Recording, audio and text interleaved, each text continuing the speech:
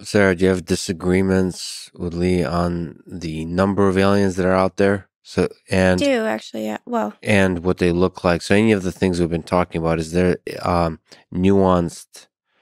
Oh, it's always nice to discover uh, wisdom through nuanced disagreement. Yeah, I, I don't I don't wholly disagree, but I think um but I do think I disagree. It's kind of it, there's nuance there. Um but but you can disagree. no, it's fine. Um I it it is nuanced, right? So you made the point earlier that you think um you know, once we discover what alien life what life is, we'll see alien life everywhere. Um, and I think I agree on some levels in the sense that I think the physics that governs us is universal.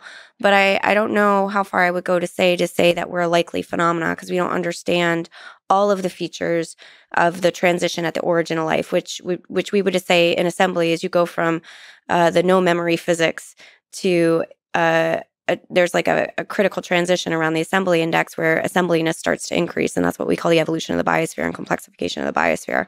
Um, so there's a principle of increasing assembliness, or that goes back to what I was saying at the very beginning about the physics of the possible, that the universe basically gets in this mode of trying to make as much possibilities as possible. Um, now, how often that transition happens that you get the kind of cascading effect that we get in our biosphere. I think we don't know. If we did, we would know the likelihood of life in the universe. And a lot of people want to say life is common, but I don't think that we can say that yet till we have the empirical data, which I think you would agree with. But then there's this other kind of uh, thought experiment I have, which I I don't like, um, but I did have it, um, which is um, you know, if life emerges on one planet and you get this real high density of things that can exist on that planet, is it sort of dominating the density of creation that the universe can actually mm-hmm. generate? So, like, if you're thinking about counting entropy, right? Like, the universe has a certain amount of stuff in it.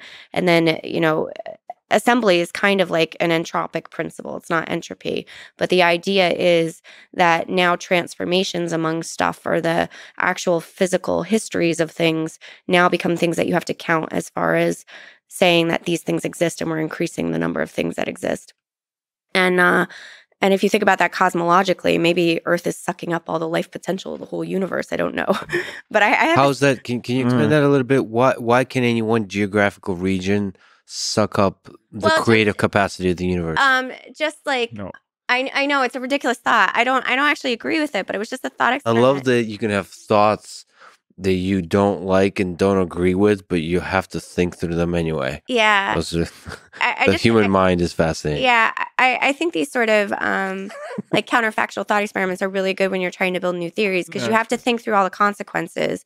And there, there are people that want to try to account for say the degrees of freedom on our planet in cosmological inventories of you know talking about the entropy of the universe and you know and when we're thinking about like cosmological arrow of time and things like that. Now i think those are pretty superficial proposals as they stand now but assembly would give you a way of counting it.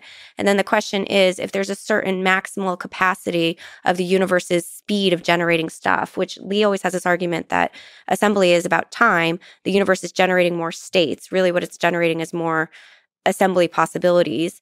And then dark energy might be one manifestation of that, that the universe is accelerating its expansion because that makes more physical space. And what's happening on our planet is it's accelerating in the expansion of possible things that exist. And maybe the universe just has a maximal rate of what it can do to generate things.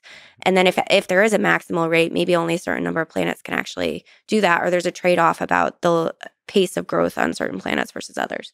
I have a million questions there, but do you have do you have thoughts on? Just, just a quick, yeah. I'll just say something very it's quick. It's a thought experiment. No, it's good. I think I get it. Yeah. I think I get it. So, um, all I want to say is, when I mean aliens are everywhere, I mean m- memories are the prerequisite for aliens via selection and then concentration of selection when selection becomes autonomous. So what I would love to do is to build, say, a magical telescope that was a memory, magical, de- a magical one, yeah, uh, sorry, or a real one that would yeah. be a memory detector to see selection. Mm-hmm. So you could you could get to exoplanets and say that exoplanet looks like there's lots of selection going on there. Maybe there's evolution and maybe there's going to be life. So what I'm just trying to say is narrow down the regions of space where you say there's definitely evidence of memory as high assembly there, or not high assembly because that would be life, but of select this, where where it's capable of happening, mm-hmm. and then with then that would also help us frame the search for aliens. I don't know how likely it is to make the transition to cells and all the other things. I think you're right, but I think that it's Yeah. We, we just need to get more data. Well, I didn't like the thought experiment because I don't like the idea that if the universe has a maximal limit on the amount it, can generate per unit time, that our existence is actually precluding the existence well, of other things. I'll just say one thing. but I think that's probably true anyway because of the resource limitations. So I don't I don't like your thought experiment because I think it's wrong. Because well, no, no, no. I do like the thought experiment. So what you're trying to say is like there is a chain of events that goes back that's manifestly cul- culminated with life on Earth. Mm-hmm. And you're not saying that life isn't possible elsewhere. You say that there has been these number of things, contingent things that have happened that have allowed life to emerge here. Um, that doesn't mean that life can't emerge elsewhere, but you're saying that these the intersection of events may have may be concentrated here, right? Um, and I think that's not exact, not exactly. It's more like, um, like, uh, you know, if you you look at say the causal graphs are fundamental, maybe space is an emergent property, which is consistent with some proposals in quantum gravity, but also how we talk about things in assembly theory, then the universe is causal graphs generating more structure in causal graphs, right? So this is how the universe is unfolding. And maybe there's a cap on the rate of generation, like the there's only so much stuff that gets made per update of the universe.